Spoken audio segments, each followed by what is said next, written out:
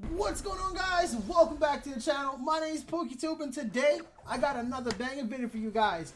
But as usual, before you jump to the video, be sure to drop a like and subscribe notifications turned on. Let's shoot for, I don't know, 150 likes on today's video. Don't forget to use my supported creator code YT underscore PookieTube all capital letters as shown on the screen. We got breaking news, guys. This involves version 740's update scheduled for 4 a.m. Eastern Time tomorrow is when the downtime is supposed to start. But we just got a tweet from Fortnite as shown on the screen right now. Due to the last minute issue we've discovered within the version 740's release, the update will be delayed.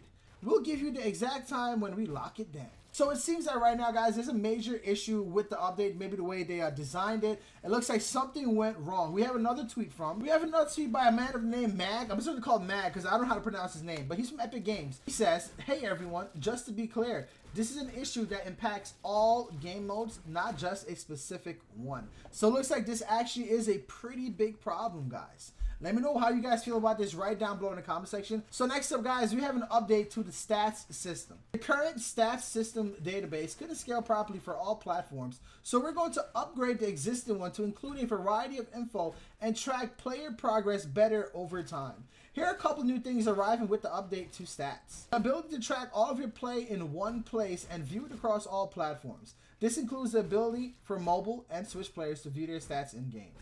Next, breaking up stats by each individual limited time mode. And this was to come out with the version 740's update, which has been delayed. So guys, that's all I have for you today. Thanks for watching today's video. The support recently has been tremendous, so thank you guys so much.